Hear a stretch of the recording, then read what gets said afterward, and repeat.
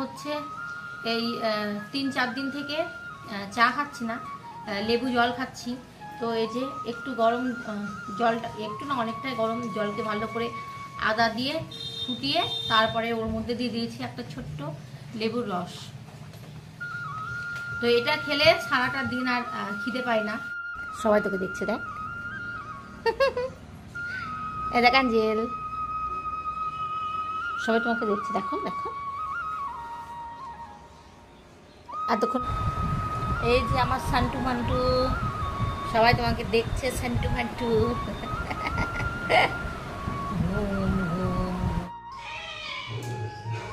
যখন সবজি নিয়ে আসে, পুরো ব্যাগ ভরে সবজি নিয়ে চলে আসবে। দিয়ে কি হয়, যতই ফ্রিজের মধ্যে রাখি, একদম পুরো শুকিয়ে যায়।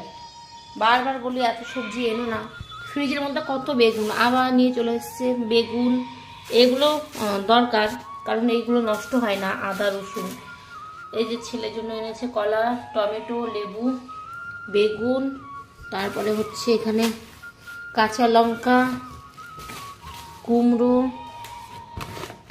তোর বাবা দেখছিস? আলতু ফালতু শুধু বাজার করে নিয়ে চলে আসে গুচ্ছে গুচ্ছে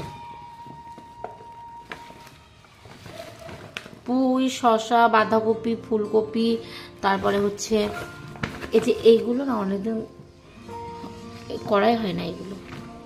এগুলো ভাতে দিয়ে দিতে হয়, এটা ভাতে দিয়ে দেবো। অ্যাঞ্জেল ভাবছে আমার জন্য কিচ্ছু আনেনি। অ্যাঞ্জেল ভাবছে আমার জন্য কিছু আনেনি বাবা। তোমার জন্য এনেছে। এই যে আমি এখন রান্না করব। আর এখানে বসে বসে রান্না দেখে। মা কখন রান্না হবে আর খেতে দেবে। আর ওর না একটা জিনিস খুব ভালো লাগে, যত ওই খাবার এখানে থাকুক না কেন, ও কিন্তু মুখ দেয় না। তো ইলিশ মাছগুলো ধুয়ে নিলাম। এখানে হচ্ছে মাথা নিয়ে নিয়েছি মানে একটা মাথায় আছে, দুটো ভাগ করা। এটা দিয়ে হচ্ছে পুয়ের শাক করব আর মাছ গুনে নিলাম। আর এখানে হচ্ছে এই কটা ফ্রিজে রেখে দিই, কারণ অনেকগুলো মাছ আছে। আর এখানে ছোট ছোট মাছগুলো এনেছে। তো এটা আবার ভাজতে বলেছে। তো এখানে দুটো ডাল পুরি আর একটু তরকারি। এদিকে দাদুকে এটা দিয়ে দেবো।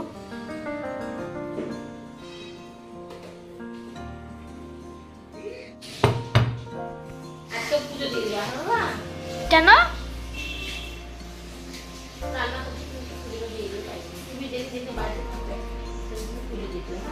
ঠিক আছে।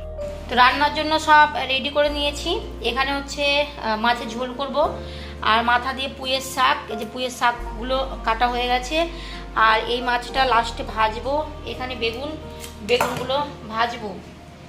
আর হচ্ছে যে আলু, কচু আর বেগুন, টমেটো দিয়ে ইলিশ মাছের ঝোল হবে। এগুলো সব রিক্রা বাবা কেটে দিয়েছে। আর ওল ভাতে দিব। মানে ওল সেদ্ধ। আর এখানে হচ্ছে কুমড়ো বেগুন আর হচ্ছে আলু। এটা হচ্ছে পুঁয়ের শাকের মধ্যে দেবো। তো এই মশলাটা ঠান্ডা হোক, তারপরে হচ্ছে আমি মিক্সিতে ঘুরিয়ে নেব। এখন গরম দেওয়া যাবে না। আর এখানে তেলটা গরম করে নিচ্ছি। তো এখন মাছগুলো ভেজে নেব। প্রথমে তো এখানে মাছগুলো ভেজে নিয়েছি। আর এখানটায় যে ঝোলের জন্য জল দিয়ে দিয়েছি মশলা। বলতে জিরে আর কাঁচা লঙ্কা। তেলে ফোড়ন দিয়ে, এই যে সমস্ত সবজি দিয়ে একটু ভেজে, তারপরে এর মধ্যে একটু আদা বাটা দিয়েছিলাম, আর কিছু দিইনি। আর নুন আর হলুদ।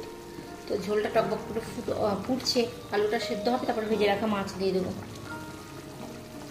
এর মধ্যে কোনো মশলাই দেবো না। যেই মশলাটা তৈরি করলাম, শুধু সেটাই দেবো। তো মাছের ঝোল হয়ে গেছে। আর নামানোর টাইমে যে মশলাটা তৈরি করলাম, এটা আমি আবার একটু গুঁড়ো করে নিলাম। বললাম যে মিক্সিতে করব, তো এটাতে বেশ ভালো হলো।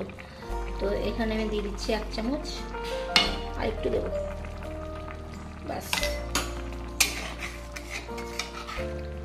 তো এখন একটু নাড়িয়ে ছাড়িয়ে নিলে কমপ্লিট আজকে স্কুলে যাইনি, কালকে স্কুলে যাইনি। সকালে বৃষ্টি পড়ছিল তাই। হুম, ও জানেই না। এত ঘুম করেছে দশটা এগারোটা দশে। বললাম যে একটু ভাত খেয়ে যা, খেলো না এখন দিদা বাড়ি চলল।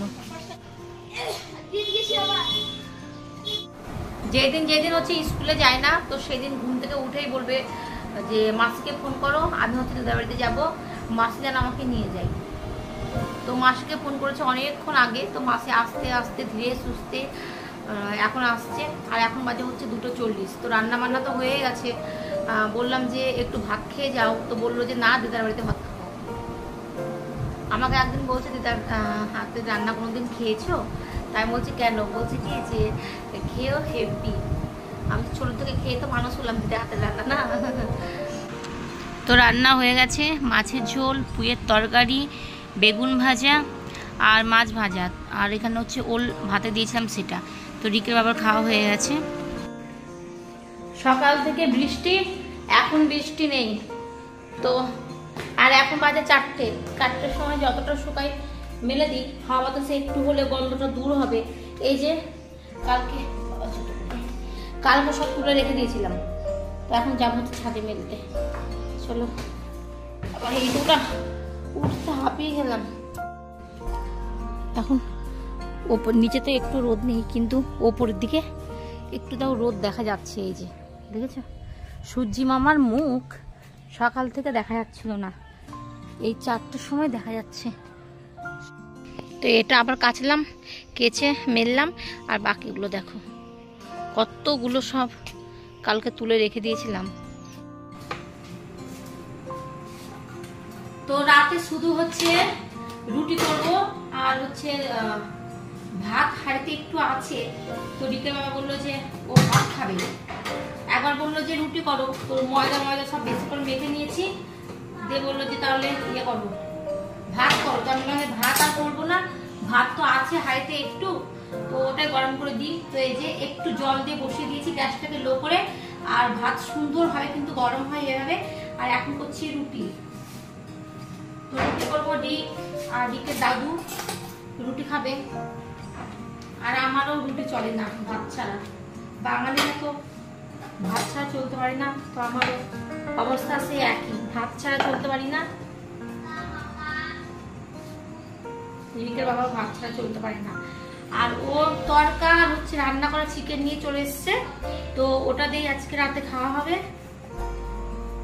আর দিনের বেলায় যে ইলিশ মাছের ঝোল, তারপরে পুঁয়ের তরকারি করেছিলাম, তো ওইগুলো সব আছে, তো ফ্রিজে রেখে দিলাম। কালকে গরম করে খাওয়া যাবে।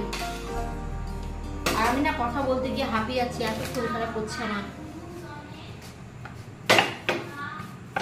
কালকে একটু ঝিরে ঝিরে বৃষ্টিতে বারবার বাইরে গিয়েছিলাম, মাথা জল পড়েছিল তারপর থেকে মাথা যন্ত্রণা। আর আমার ছেলেকে লিখতে দিলাম, বললাম যে তুমি লিখো, আমি হচ্ছে খাবারটা করে দিচ্ছি।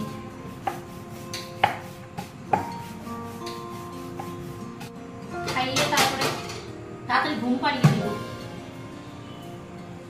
নরে স্কুলে যেতে দেরি যাচ্ছে খুব।